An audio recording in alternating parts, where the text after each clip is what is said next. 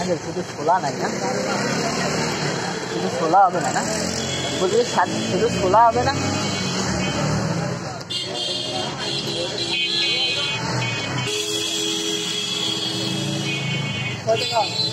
না, ওইটা তো নাই তো।